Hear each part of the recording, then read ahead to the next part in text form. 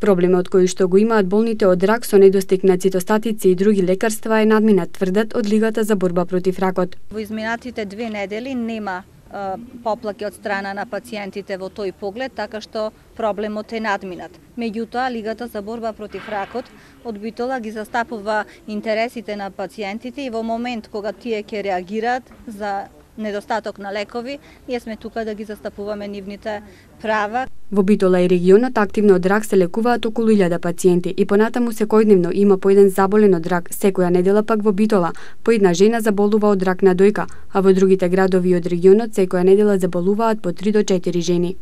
За ракот на дојка едно од најзначајните фактори во успешноста во лекувањето е рано да се диагностицира.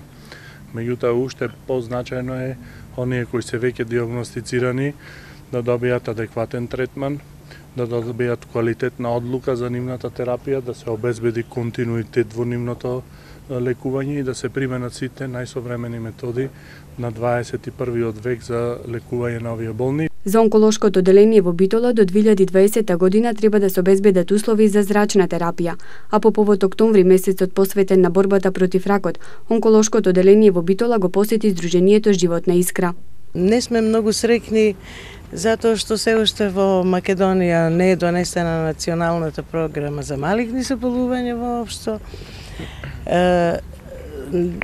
И задоволни сме од повеќе промени на закони што сме помогнале да ги направиме со почит за сите пациенти со малигни заболувања и се разбира нашата борба нема да запре.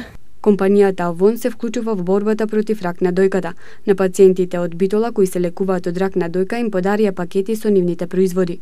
Поддршката на пациентите е една од петте главни области во активизмот за борба против рак на дојка И на овој начин сметаме дека ќе потикнеме одговорните институции во државата дополнително да обратат повеќе внимание кон овие пациенти. Денеска во Битола исто така се одржа и трибина на тема предизвици на борбата против ракот на дојка во Македонија.